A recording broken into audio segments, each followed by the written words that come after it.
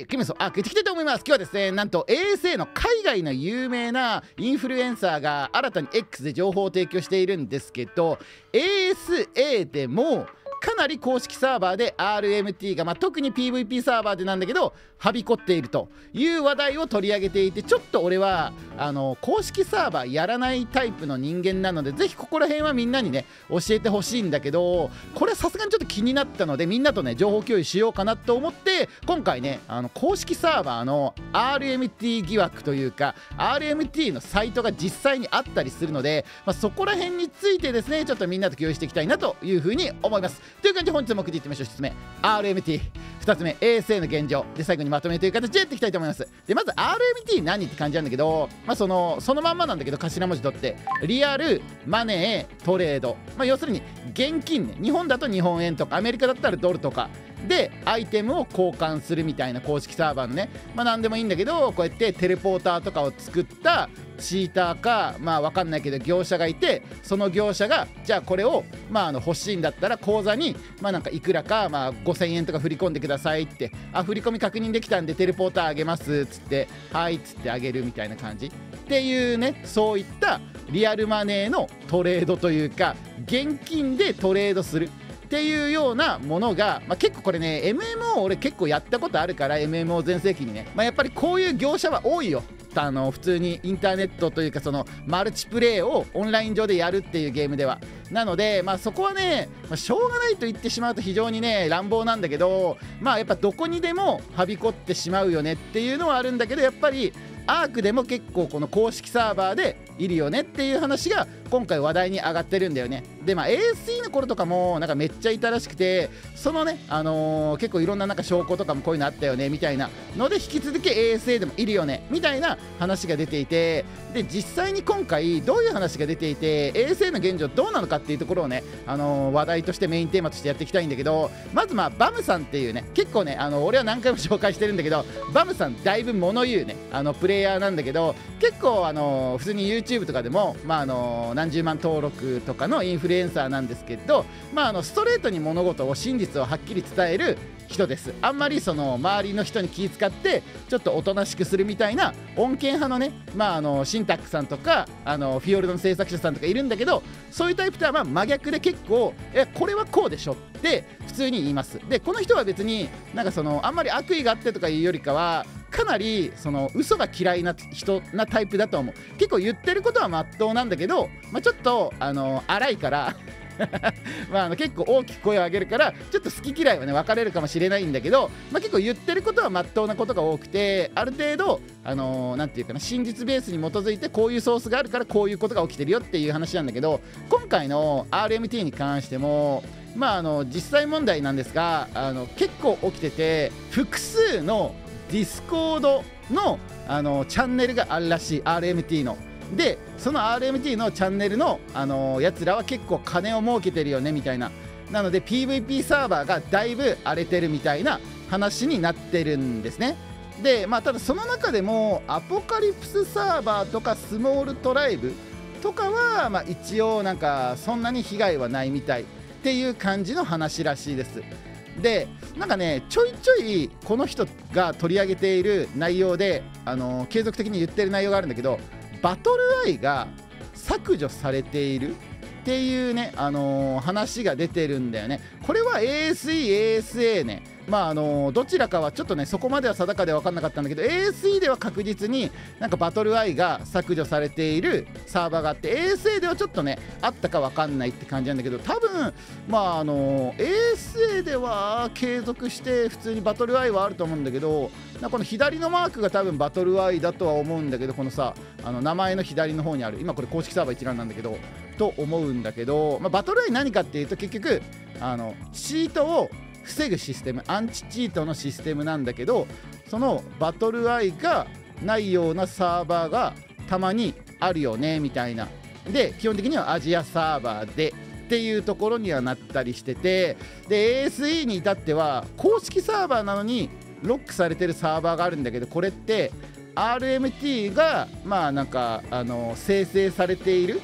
あのサーバーじゃないんですかねっていう話もあってこのサーバーいつからロックされてるんですか？この公式サーバー最初からですねみたいな。っていう話もあるんだよね、まあ、これは ASE のサーバーなんだけど。でまあ ASA にはねあのちょっとね分かんないけどサーバーは今のところそういうのはあんまり見つかってないのかなっていうところなんだけど。まあ現に ASA のディスコードで RMT のディスコードがあるって感じで。ちょっと俺はさすがにあの入ると思いっきり KTR ゲームって出るからよくないかなと思って入って見てないんだけどまあなんか一応実際のねあの画像とかはそのリプ欄に載せられたりはしていてですね。でどんなのが載せられてるかっていうと一応こういうのがあるらしい。ここら辺のなんかテック系の、あのー建造物を、えっと、20ドルでこれトランスミッターか。トランスミッター20ドルで真空室3.5ドルで、えっと、ジェネレーター15ドルでテレポーター10ドルで、えっと、金庫かこれは。5ドルみたいな感じで。で PVP クロスって書いてあるから多分 PVP サーバーのクロスプラットフォーム上で、あのー売ってる内容っていう意味だと思う。でまあここにクロスプラットフォームのクロスって書いてあるから要するにこれは ASA っていう話ですね。あの基本的には ASE はクロスプラットフォームないから。であとは恐竜とかもこんな感じで売ってるらしい。ステゴサウルスが、えー、とメイルだからオスが4.5フィメールメスが3.5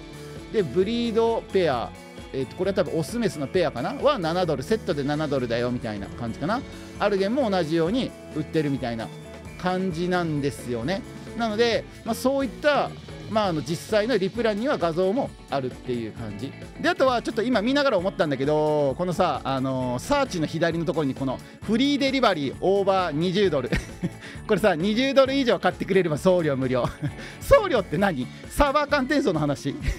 よくわかんないけど。っていう感じで結構こういったものとかも実際に出ているっていう形になってるので、まあ、結構その業者っていうのがアークの公式サーバー。特にやっぱ PVP とかっていうのはその物資でさいろいろまあなんかその現実世界の武器商人闇商人みたいな感じで、あのー出てる。っていう話になってるのかなっていうところで結構ここら辺があの問題に上がってるっていうところなんだよね。でまあちょっとねここら辺は俺がその実際にプレイしてないからその公式サーバーをね。なのであの具体的にこれがこうでこうでまあ明らかにこういう状況証拠がっていうのがねなかなか言えなくて申し訳ないんだけどただ、まあ、結構ねあのーこういったまあなんて言うんだろうな。ある程度あのーまあいろんなことを発信する人がまあ言っててでまあそれに追随して他のインフルエンサーとかも話をリツイートとかしていて、まあ、こういったものがあるから精神衛生上今は PVP とかっていうか、まあ、その公式サーバー自体を離れてますっていう話があってで現状としてはやっぱりアジアサーバーに多いとで儲かっているディスコードも結構見受けられるという話でそこら辺でですね結構その公式サーバーの PVP のまあこういった疑惑が出てるっていう話なんだよね。であのこの話の中でいけてないっていうかやばいというか一番最悪なパターンっていうのがその一つ画像をあのバムさんが出してたんだけどそれがまあ ASE の頃の話ではあるんですけど、まあ、これなんだけど ASE のさ、あのーていうの普通にログイン画面っていう形ではあるんだけどなんかあの普通に、あのーなんかそのロックがかかっている。普通に公式サーバーね公式サーバーなんだけど普通にパスワードがかかってるっていう話になってるんですね。でまあこれ何っていう話なんだけど RMT 用に生成されたまあその何かしらの何て言うんだろうなあのサーバーなんじゃないかなっていう疑惑とかもあってで正直あの俺が昔、まあ、十何年前やってた MMO に関してもその業者いたのね。本当にボス張り付きでボス素材めっちゃあの回収してでゲーム内で売ってでさらにあのそのお金を RMT で売るみたいな感じで。であの運営が黙認してたんだよね。でそのオンラインゲームってさ結構長いこと続いてるんですよ。なんだけどその明らかにあの RMT の業者がめっちゃはびこってるのにその全然なんか規制されないっていうか全然バンされないっていうか一生なんかいい感じに運営してるんだよね。っていうことはある程度これ裏で通貨なんじゃねみたいな裏でつながってるんじゃねっていう話が結構そのあの界隈では有名だったんだよね。いやこれ絶対普通に知ってるでしょっていうかその RMT 業者がゲーム会社に金払ってで普通に運営してるんじゃないかな。もしくはなならゲーム会社自体がその RMT 業者を運営してるんじゃないんですかっていう疑惑すらあのその時の MMO のあのゲームでは出てたのね。っていうレベルなんですよ。なのでまあそういったところを考えると、まあ、もしかしたらこういったロックされている公式サーバーとかアジアサーバーに多くてアジアサーバーの GM が結構関与している可能性が高いみたいな話とかも出てるんでまああのスネイルの、あのトライブいつものあいつらやってんじゃね？みたいなのが、まあ、これは分かんないよ。分かんないんだけどあの疑惑としてはまああの出ちゃうよねっていうそんな形にはなっちゃうよねやっぱり。っていうところなんで結構ですね現状としてはまあ、なかなかですね、あのー、て言うんだろうな、ASE の頃まあ、いけてなかったよねとか、でかなり、まあ、その結局、スネイルの人たちが結構関与してて、ああだこうだやってるよねとか、怪しいよねっていうのが、今に続く話で、こういうふうに RMT として、まあ、現金化しているんじゃないんですかねっていう話が出てたりする。ので、まあ、こういったのもちょっとね怪しかったりするよねっていうふうには思ったりもするし、まあ、結局アジアサーバーで生成してどっかのねあのチータートライブのアジアサーバーで生成してまあ、EU とか NA にま輸出するっていうのも全然できるから、まあ、それでドル換算だとは思うんだけど結構そういったのがやっぱり見受けられるからな見受けられるっていうかその情報として想像できるっていう意味合いでね。なのでこういった形で結構もしかしたらチーターと RMT っていうのが、まあ、結構くっついているのかなというふうに、まあ、そういったバムさんがいろいろ情報を出してるから、まあ、結局 ASE の頃こういうのあったよねみたいな。で ASA もディスコードで今乱立してて、まあ、何個か、まあ、あの俺も知ってるよみたいなディスコードでみたいな話で。でその中で、まあ、あだこうだっていう話が出ててリプ欄にもあのディスコードそういうの知ってますよみたいな RMT の。実際問題こういう風に売られてますみたいなさっきね見せたみんなに見した画像とかも貼ってあったりしてっていう動きがあるので、まあ、これだと結構ねそのアークってそのななんていうの時間を結構使うじゃん。でその時間を楽しむみたいなのがあるじゃん家庭を楽しむみたいな。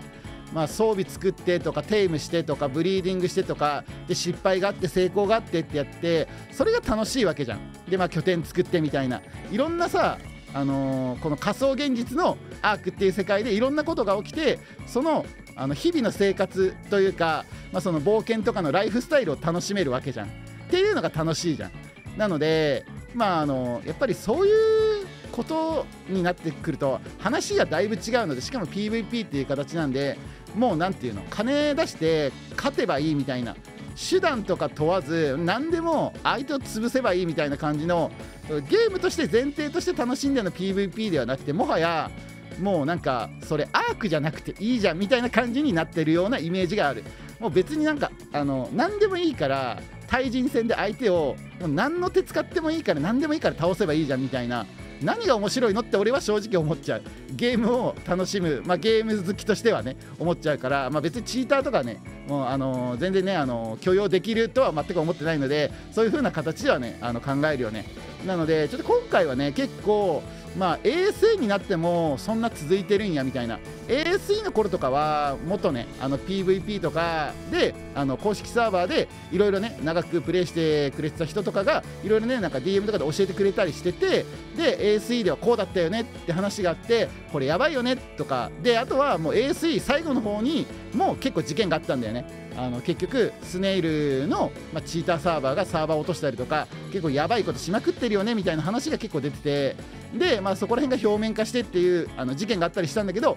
そこでは終わらずさらに ASA でも同じような形で、まあ、結構まあなんかいろいろ起きているみたいなので結構その公式サーバー自体が今カオスになってるのかなっていうふうにまあ、結構あの俺的には感じてしまったので、まあ、結構ね、まあ、その平和なトライブとかね平和なサーバーは平和なのかもしれないんだけど PVP のアジアサーバーは多分やばいことになっててその PVP のアジアサーバー初とかでチートでいろいろ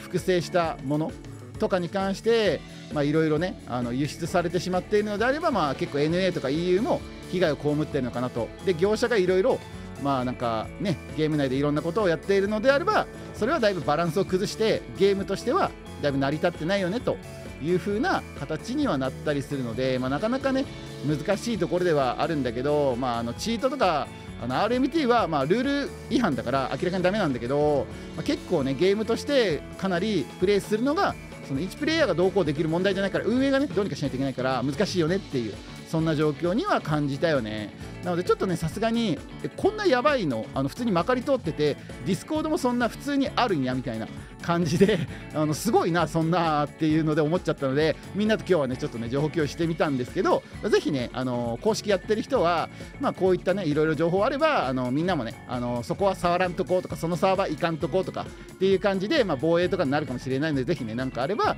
まあコメント欄で共有してくれると嬉しいなって感じで最後にまとめやっていきたいと思います。でまとめとしては今回ね、まあ、海外初の情報ではあるんだけどあの出たのがね情報ではあるんだけどバムさんが、まあ、やっぱり ASA になってもあの RMT っていうのは続いてるっていうのは結構あのなんていうんだろうな今リアルにあるよねっていう。でまあリプランの人とかも実際にさっきの画像みたいな感じでまああの普通に物売ってるよねみたいな。普通にこれ売ってるよねっていうのであれこれやばくない？っていう話が、まあ、やっぱりね実際問題今出てるっていうのがあります。でまああの画像的にはねこんな感じで、まあ、あの普通に商品として 並んでるみたいな感じでね。であの free delivery over 20ドルっていう感じになっております。はい。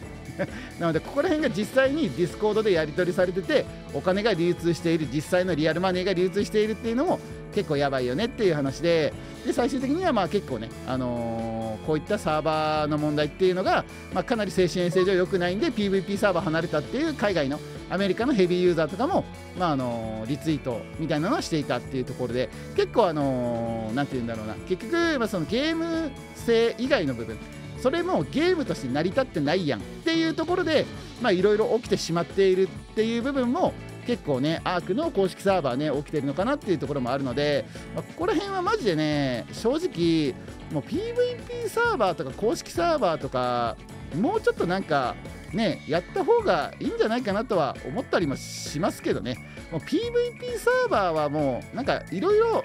なんか切り離してもいいかもしれないと思ってる正直。今 PVP サーバーに結構引っ張られた調整っていうのがリニオの速度とかいろいろねあるから正直そこって PVE 関係ないから PVE に関してはただのナーフでしかないから急なね。あのー、全然意味合いというかあれが PVP だけ見てるから PVE から見たら何それって感じになるからそういうのが多いからもう PVP マジ切り離してもいいと思う。正直 PVP の人口ってそんなにいないんだよね。で、まあ、マインクラフトとかが公式サーバーやってない理由とかもアークの問題がたくさん出てるけどそういう問題が出るからまあサーバーはおのおのやってねっていうスタンスだとは思うんだよね。なので公式サーバーやるって結構ねフラットにルールを決めないといけないんでかなり大変なんだけどそこの中で PVP、PVE をあの全てごちゃ混ぜで調整とかしちゃってるからそこら辺とかもそろそろねもう切り離してもいいんじゃないかなとは思ったりもしないでもないある程度。PVP は PVP 別軸で PVE は PVE でっていうか PVE の方が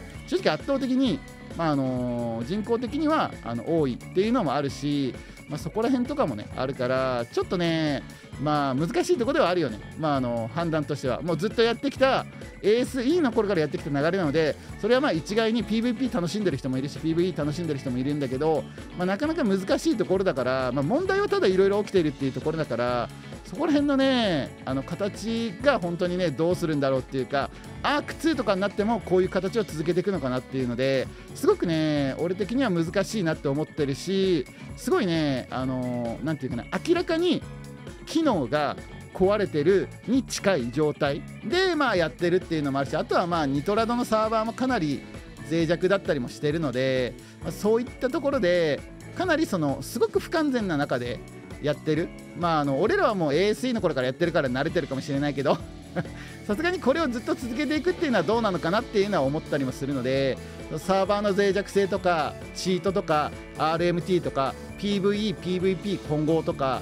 ここら辺の問題がかなりマルチプレイにはすごいあの影響を及ぼしていたりもするのでで、まあ、そこでねちょっとねあのうまい具合にあの解決とかがもういろいろ昔からの流れで全てが入り組んでぐちゃぐちゃになってやりづらいっていうのは分かるんだけどどっかで1回ね大ナタを振ってある程度区切ったり、まあ、ある程度、まあ、なんかもうちょっと改善とかねサーバー改善とか PVP といい区切ったりとか、まあ、なんかしないと結構、まあ、沼っていくのかなって思ったりもするし、まあ、もしかしたらそれはそれでよしと会社としてはしてるのかもしれない。もしかしたらね分かんない。もしかしたら、まあ、ある程度アークとしてお金が入ってアークって作れるし、まあ、とりあえず、まあ、今のままでちっちゃい問題は目をつぶろうっていう形なのかもしれないけどね。分かんないけどね。でまあ一番俺がやばいなって思ってるのがあのー、そのなんかアジアサーバーのトライブと RMT 業者とでスネイルとこの三つどもえが裏で全部チート RMT